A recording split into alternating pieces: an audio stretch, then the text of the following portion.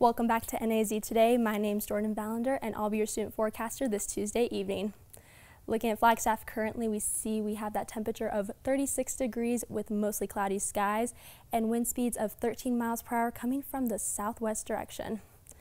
Our current satellite shows some cloud coverage slowly moving into the state of Arizona and then moving into New Mexico.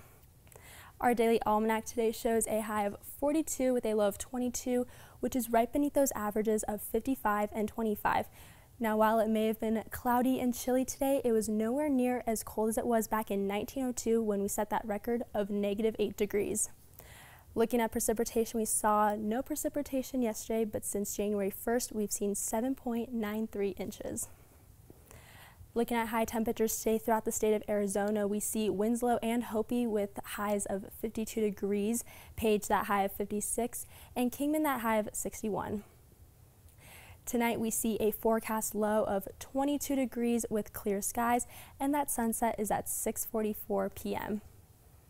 Tomorrow we see a forecast high of 53 degrees, sunny skies, and that sunrise at 6:20 a.m. for all of you early morning risers, and that sunset at 6:45 p.m. Looking at forecast temperatures throughout the state of Arizona, we see a range of 50s to 70s. Phoenix and Lake Havasu are staying pretty warm. Phoenix that high of 76, low of 53. Lake Havasu that high of 77, low of 62.